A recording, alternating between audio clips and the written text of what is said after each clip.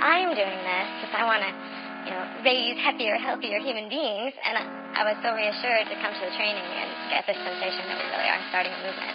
As a teacher, I would absolutely promote teachers for you know, the motor experience for your kids. And you can have fun in your classroom doing different things, and it's just going to build the character of these kids. In our world, like children's yoga world, she's famous to us. Um, and you kind of think like she can't be as nice as she seems on this, but she is.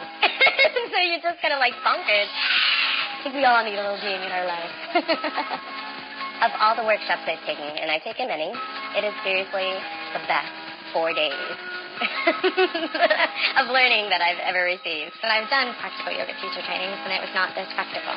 We did what we will do in this course with other teachers giving us feedback, giving us critique. The workshop is not just focused on the material being taught and sort of following these guidelines. It's also thinking about you as a person and you as a yoga teacher.